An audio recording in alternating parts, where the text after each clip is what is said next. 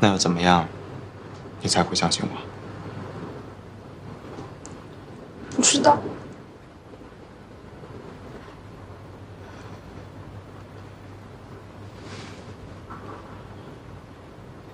我们去领证吧。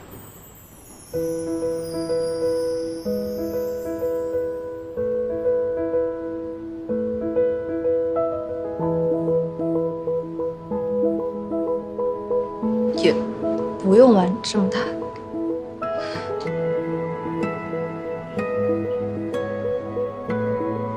哎呀，你药擦好了，我去扔掉。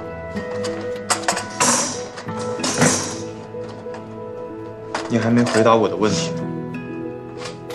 什么问题？结婚？哎呦，我们还那么小，不用想那么远吧？我们马上就毕业了，本来就应该开始计划了。啊，是吗？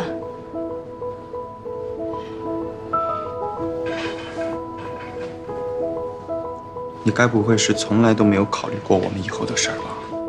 我有，那你说说看。凭什么我先说？你先提的，你说。毕业后，你去哪里工作，我就去考那个城市的法医。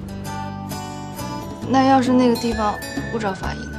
要是那个城市不招法医，我就去邻近的城市考，大不了路上耽误的时间长一点。哦，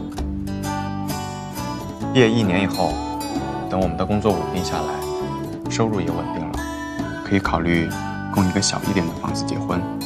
我并不打算养宠物，但是考虑到你喜欢，我们可以多养几只猫。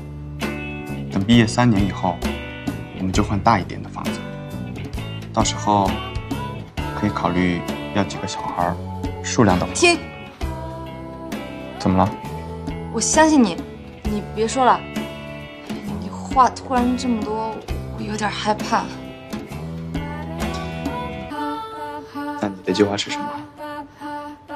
我啊，我就想成为一名知名小说家，写的书呢都畅销海内外的那种。实在不行就找一份又闲又有钱的工作，坐吃等死。完了。那我呢？你什么？你的计划里，我在哪里？你在我的小说里。哎呀，别这样看着我了。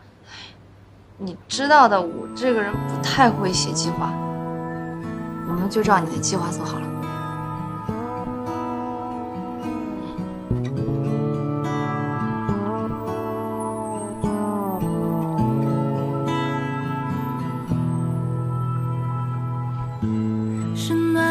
春，对冬天许的承诺。答应你的从来都没有变过。是过程坎坷，但结局完美的小说，写着胡。